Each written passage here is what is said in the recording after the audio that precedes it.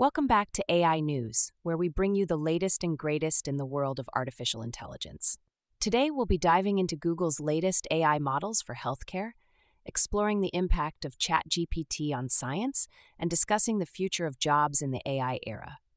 And as if that wasn't enough, we'll also be looking at how AI is shaping the future of chip design. So sit back, relax, and let's get into it. Google has announced MedLM, a suite of healthcare specific AI models designed to assist clinicians and researchers. The suite includes a large and medium sized model, with the larger model better suited for complex tasks, and the medium sized model optimized for specific functions like summarizing doctor patient interactions. Companies like HCA Healthcare and BenchSci have been testing the technology, using it to automate tasks such as documenting patient interactions and identifying biomarkers. While the potential for impact is real, challenges such as incorrect information and managing the AI over time have been identified. Google plans to introduce healthcare specific versions of its Gemini AI model to MedLM in the future, but emphasizes the need for testing and evaluation in controlled settings. The goal is to develop domain specific models that are smaller, cheaper, faster, and better for various use cases within organizations. ChatGPT, a generative artificial intelligence program, has had a profound impact on science, serving as a lab assistant, aiding in research, and sparking debates about the limits of AI.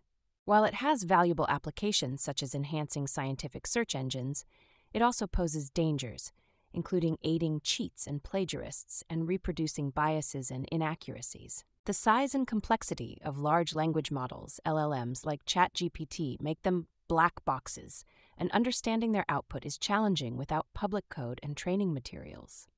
The open source LLM movement is growing, but regulation and safety features remain uncertain. Despite the controversies, the generative AI revolution is underway, with the potential for further advancements. Paul Daugherty, CTO of Accenture, advises businesses to invest more in developing their workforce for AI rather than just focusing on technology. He emphasizes the importance of helping employees adapt to the changes AI will bring to the workplace. Critical thinking, reasoning, and problem solving are identified as key skills for workers in the AI age.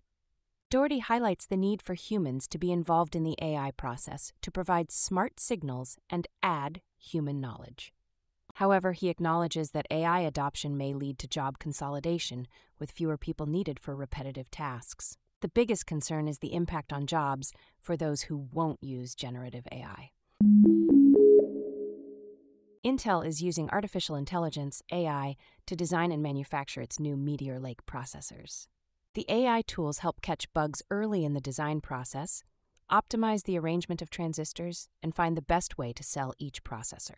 This results in faster time to market, increased sellable units, and improved performance and cost for laptops. AI is also being used by other companies in the processor manufacturing business, such as Cadence, Synopsys, Google, and NVIDIA. Intel combines AI tools from external chip design companies with its own internally developed tools, including bug analysis, generative AI for creating tests, and scrutinizing chips on the manufacturing line. The goal is to maximize yield, performance, and power improvement for the processors. And that's a wrap for today's AI News Roundup. Who knew machines could cause this much drama, huh? Don't forget to tune in tomorrow for more AI antics. As always, remember to like, subscribe, and algorithmically enhance your day.